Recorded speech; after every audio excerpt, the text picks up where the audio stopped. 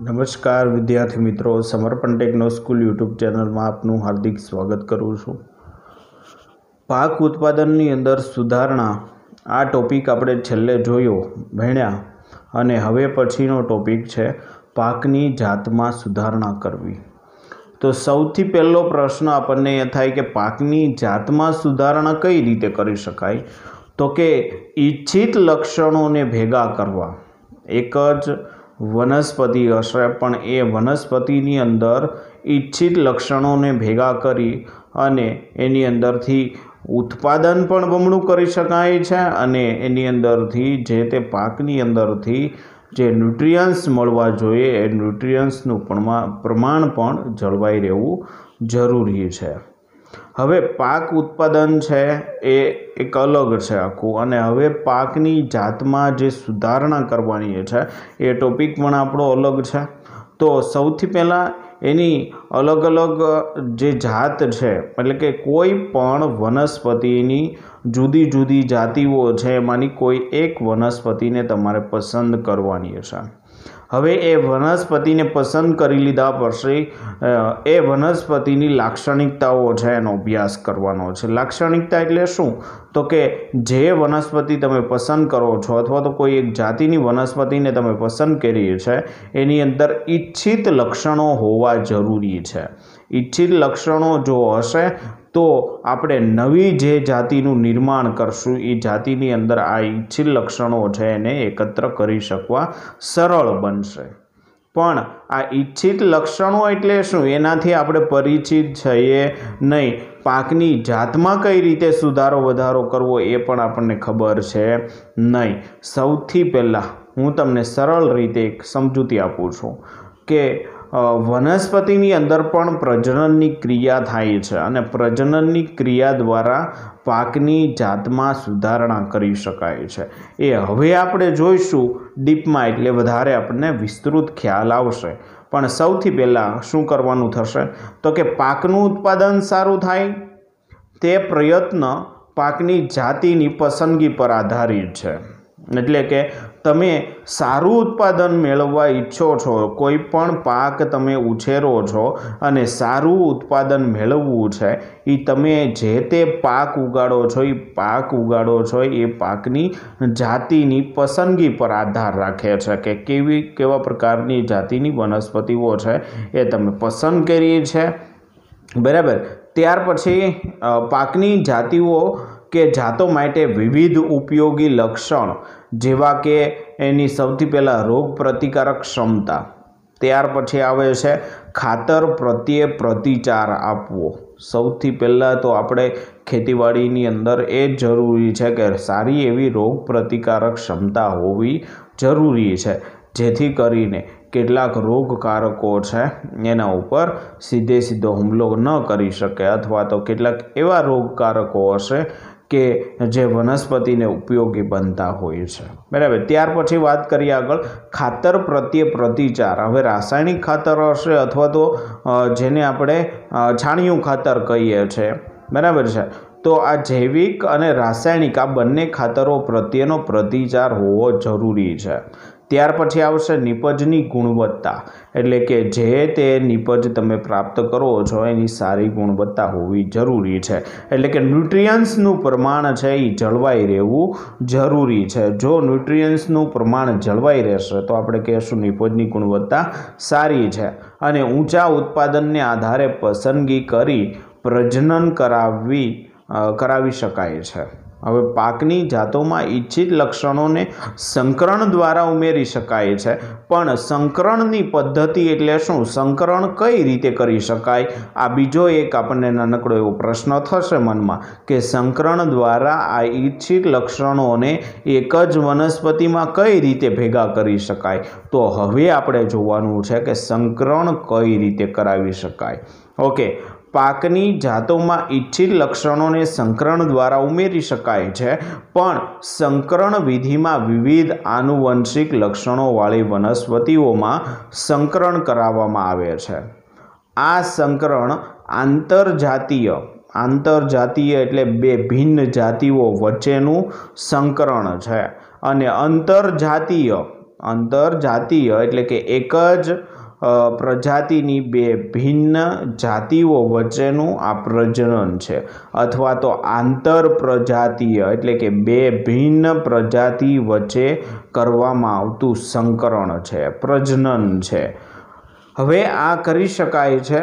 પાક સુધારણાની બીજી રીત એ છે કે ઐચ્છિક લક્ષણોવાળા જનીનને ઉમેરવા. આના પરિણામ સ્વરૂપે જનીનિક રૂપાંતરિત પાક મળે છે. એટલે કે જનીન છે સારા એવી સારું એવું ઉત્પાદન આપતી હોય રોગ પ્રતિકારક શક્તિ છે એ સારી હોય. સાથે સાથે એની એની અંદર જે તે વનસ્પતિ છે, જે તે વન, જાતની વનસ્પતિ છે એની અંદર ઈચ્છિત લક્ષણો હશે. તો આવા ઈચ્છિત લક્ષણોને આપણે જનીનિક રૂપાંતરિત પાકની અંદર એટલે કે જે તે પાકની અંદર એડ કરી શકાય છે, ઉમેરી શકાય છે. આનાથી પણ સારી એવી જાતિ આપણને પ્રાપ્ત થાય છે, જેને આપણે કહીએ છીએ જનીનિક રૂપાંતરિત પાક, જે આપણને પ્રાપ્ત થાય છે. ત્યાર પછી આવશે, નવી જાતિઓને અપનાવવા કે સ્વીકારતા પહેલાં. આ જે તે નવી જાતિ, નવી પ્રોડક્ટ છે, માર્કેટની અંદર લોન્ચ થશે, તો એને સ્વીકારતા અથવા તો અપનાવતા પહેલાં આવશ્યક છે. કે પાકની જાતિની વિવિધ પરિસ્થિતિઓમાં જે તે વિભિન્ન ક્ષેત્રો કે વિસ્તારોમાં વિભિન્ન હોય છે. એટલે કે જે તે પાક ઉત્પાદન તમારે સારું પ્રાપ્ત થતું હોય, તો સૌથી પહેલાં એ જોવું જરૂરી છે કે જે તે પાક છે એ તમારી જમીનની અંદર અનુકૂળ છે કે નહીં. ત્યાં રહેલું પર્યાવરણ, એટલે કે વાતાવરણ છે એને અનુકૂલિત આવશે કે નહીં આવે?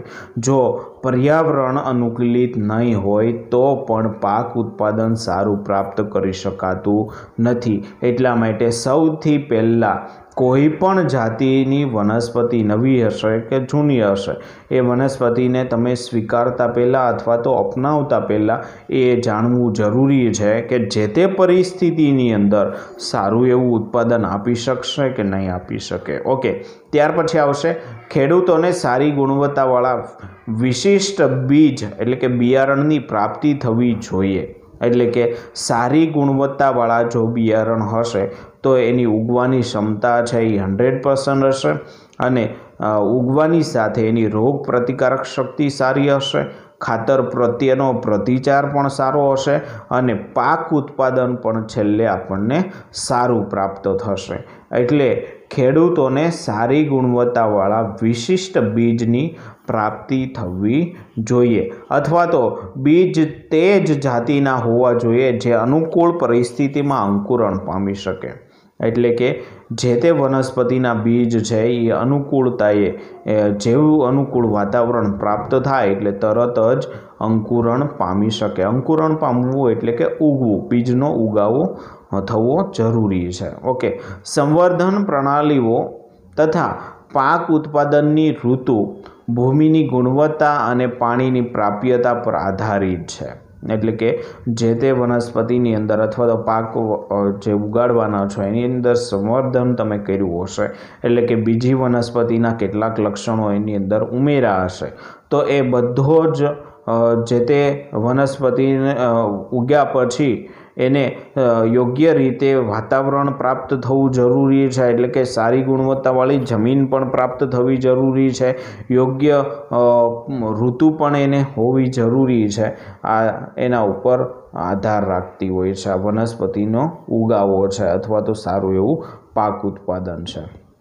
કારણ કે ઋતુકીય પરિસ્થિતિઓ જેવી કે અનાવૃષ્ટિ, એટલે કે વધારે પડતો વરસાદ થવો. આ વધારે પડતો વરસાદ થવાના કારણે પણ કેટલાક પાક છે એને નુકસાન થતું હોય છે અને પૂરનું, પૂર્વાનુમાન કરવું મુશ્કેલીપૂર્ણ હોય છે. એટલે કે સૌથી પહેલાં પૂર છે એ પૂર આવતા પહેલાં આપણે અનુમાન કરવું મુશ્કેલ હોય છે. એ જ રીતે થતું હોય છે વનસ્પતિઓનું. એટલા જ માટે એવી જાતિઓ વધારે ઉપયોગી છે કે જે વિવિધ આબોહવાકીય પરિસ્થિતિઓ પણ પણ ઉગી શકે. આ રીતે એવી જાતિ બનાવેલી છે કે જે વધુ સારીય ભૂમિમાં પણ ઉગી શકે. એટલે કે વધારે પડતો ક્ષાર હોય એવી જમીનની અંદર પણ આ જે જાતિઓ વિકસાવી છે એ ઉગી શકે. સારું એવું પાક ઉત્પાદન લઈ શકાય છે. એવું જરૂરી નથી કે ત્યાં જમીન છે એ આ એક જ સરખી પ્રાપ્ત થવી જરૂરી હોય.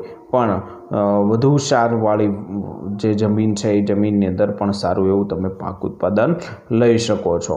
ત્યાર પછીના કેટલાક પોઈન્ટ આપેલા છે, એ પોઈન્ટ ઉપર સીધે સીધા જતા રહીએ.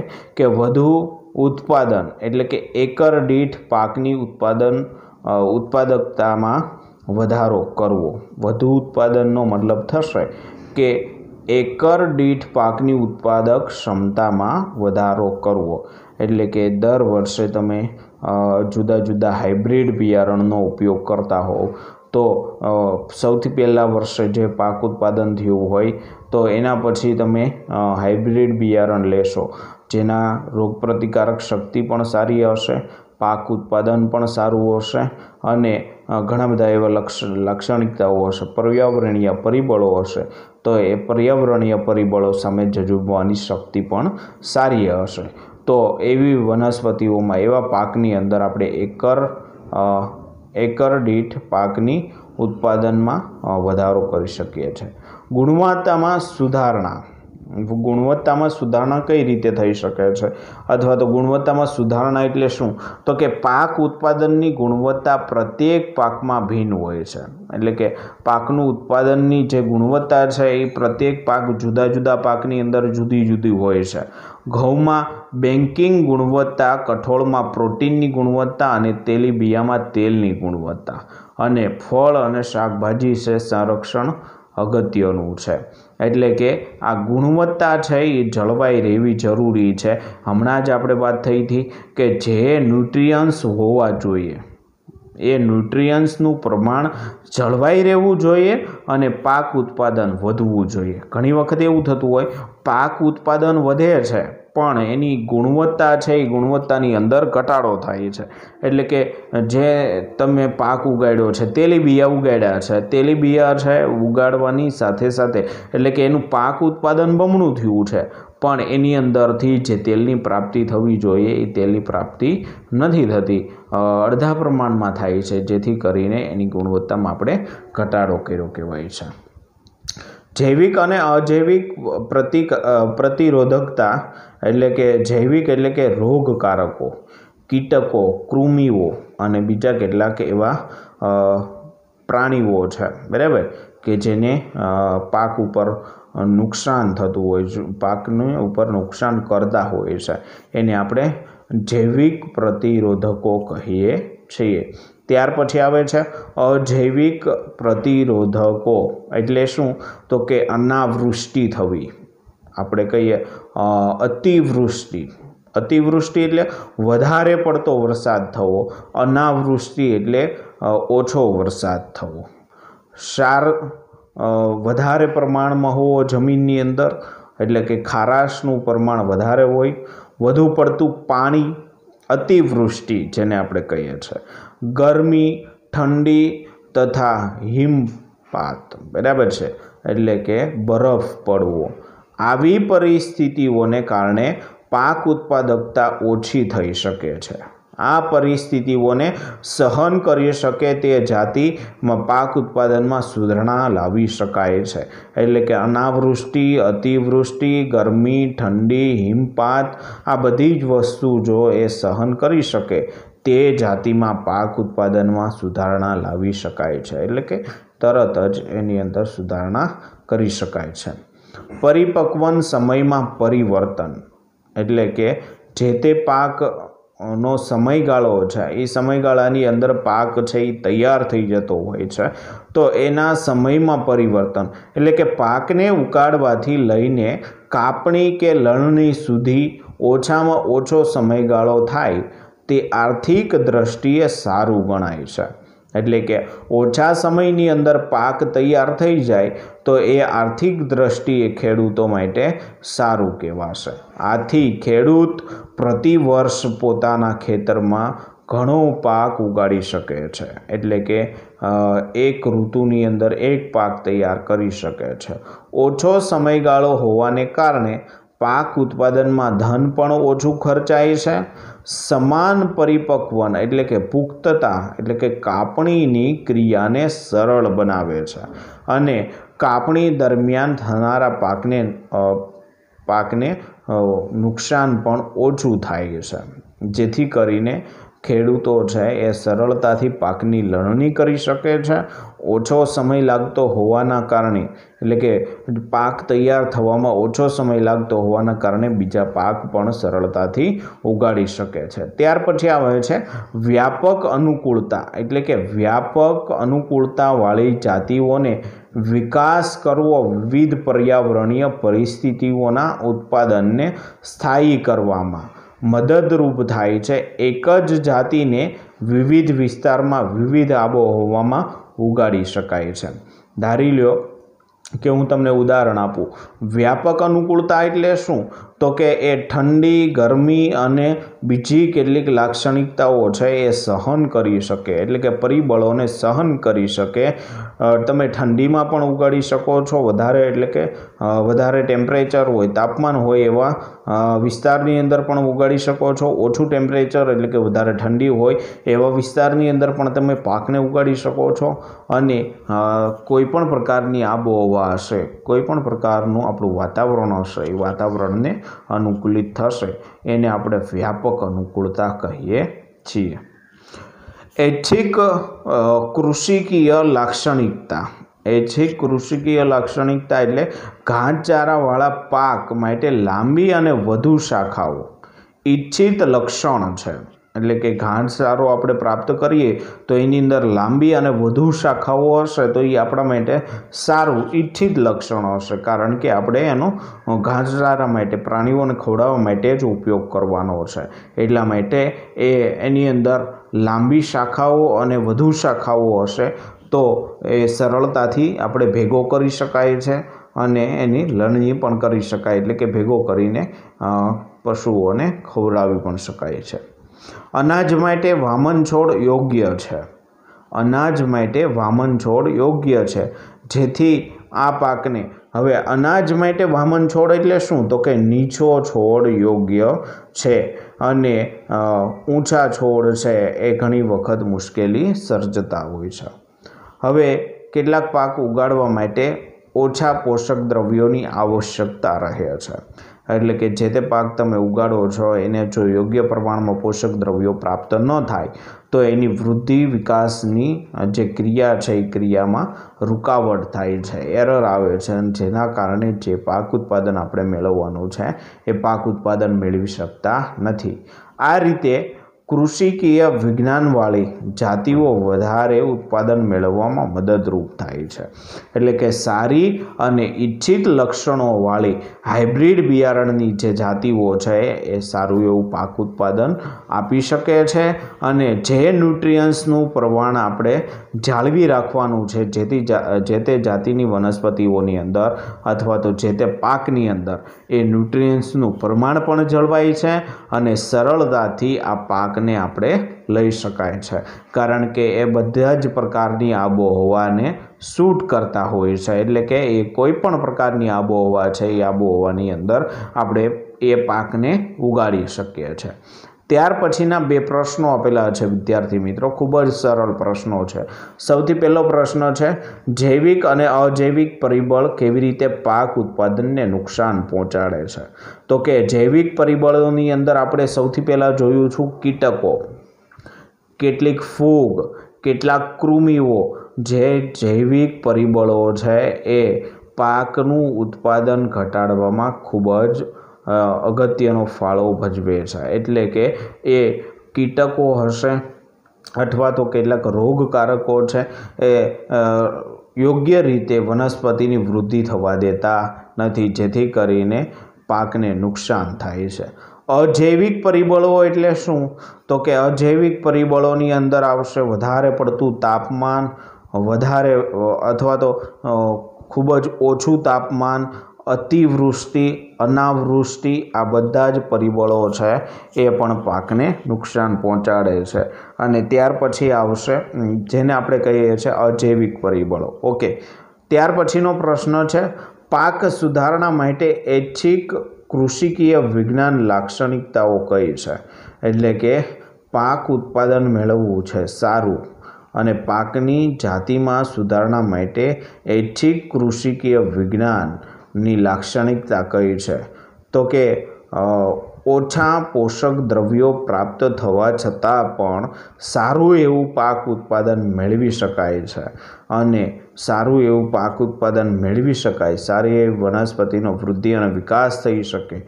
એવી જાતિઓનો વિકાસ કરવો જરૂરી છે કે જેથી કરીને ઓછા ન્યુટ્રિયન્ટ્સ પ્રાપ્ત થવા છતાં પણ, પોષક દ્રવ્યો પ્રાપ્ત થવા છતાં પણ સારું પાકનું ઉત્પાદન મેળવી શકાય છે.